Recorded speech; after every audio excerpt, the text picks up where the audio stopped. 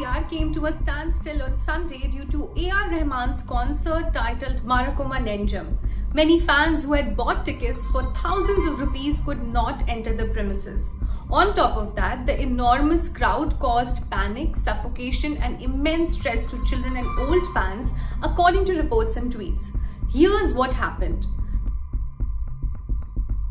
The concert was held in Adithya Ram Palace City in East Coast Road, Chennai on Sunday evening. Though many had come as early as 4 pm, they weren't able to get a seat.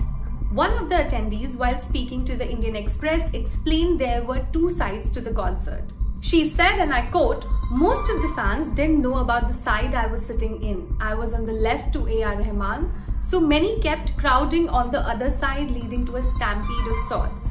About six to seven seats around me were vacant on my side of the concert. Many blamed A.R. Rahman for choosing to work with ACTC events which came under the fire similarly for the A.R. Rahman concert conducted in Coimbatore.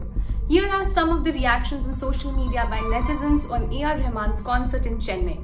While online criticism poured in, ACTC Events has only responded with a generic tweet that doesn't address many questions raised by fans. However, taking to social media, Rahman urged those who purchased tickets and could not attend due to mismanagement to share their grievances.